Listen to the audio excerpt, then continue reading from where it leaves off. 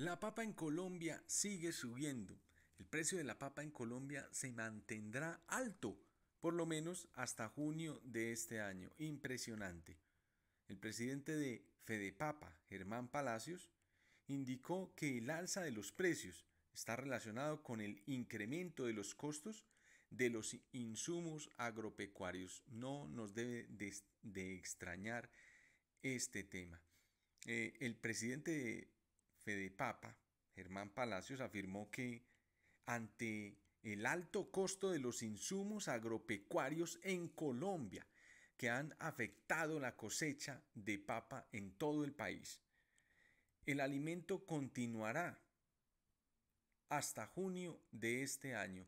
Todavía nos quedan algunos meses y la papa inclusive seguirá subiendo, se mantendrá en ese precio, pero ya está altísima está altísima.